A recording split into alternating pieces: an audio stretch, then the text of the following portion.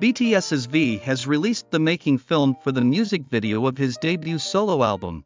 Layover, captivating fans worldwide. Let's delve deeper into this news. The Layover album, which fully embodies V's taste and was overseen by ADOR, Representative Min Hee Jin, has garnered attention for producing music videos for all tracks, excluding the bonus track. The music video was shot in Madrid and Mallorca, Spain, over the course of five days. The first scene of the making film, crafted like sweater and jeans, an image not shown in the music video, the close-up shots of V's chiseled face and his gentle dance movements, which he practiced repetitively, showcased an enchanting ambience unique to V, leaving viewers in awe. After monitoring, he shared insights and led the concept, expressing through dance the message professionalism. Mallorca Beach, found tough, conveying the lively onset atmosphere, V remarked that it felt like they came just to hang out and make these moves, the solo album, capturing the charm of the human Kim Taehyung, indeed delivered a romantic and